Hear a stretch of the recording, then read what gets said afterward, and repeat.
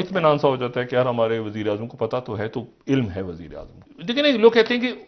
अल्लाह का शुक्र है जी, मुझे सेहत कार्ड मिल गया और मेरे वालिद का, मेरे भाई का इंतकाल हो गया।